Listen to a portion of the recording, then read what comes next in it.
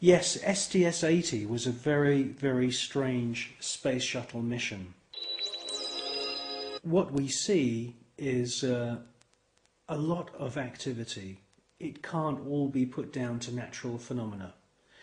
Um, James Oberg at NASA and all the other pundits at NASA would uh, love you to believe that these are all ice crystals and space junk and debris quite frankly, if there was that amount of debris, that sheer number of uh, shooting stars uh, flying around in close proximity to the space shuttle and the Mir space station, it would be not safe to to put craft up into space.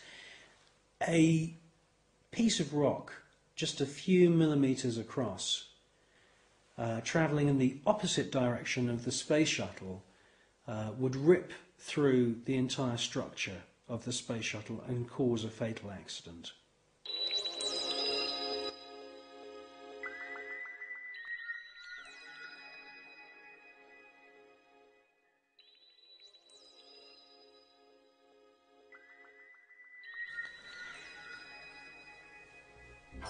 Well, people always say to me, you know, if there's extraterrestrials and if there's UFOs, why don't they make themselves known to us publicly? Well, I think with the space shuttle mission STS 80, that's exactly what they did do.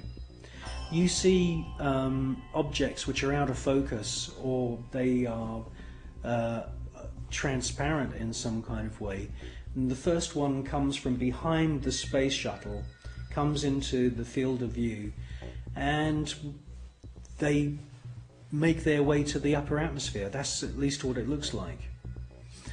Um, it's joined by many others, and you get a kind of rough circular formation appearing.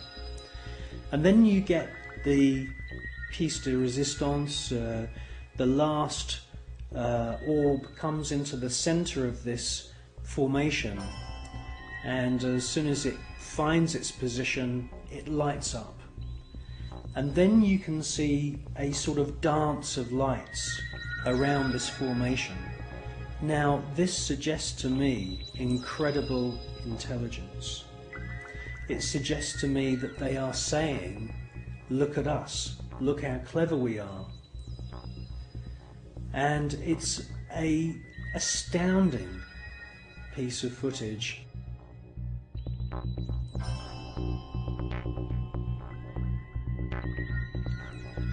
Şöyle, şöyle, şöyle, şöyle.